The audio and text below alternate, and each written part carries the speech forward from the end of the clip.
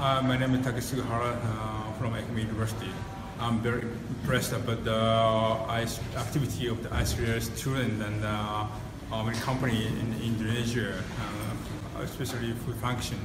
Uh, university collaboration between i3L and Ehime University also uh, during uh, among the uh, collaboration uh, we can find out the new substances uh, which have the uh, immunostimulation effects or anti-allergy effect and anti-obesity effect uh, uh, substances. Uh, maybe we can um, develop the new kinds of uh, functional food.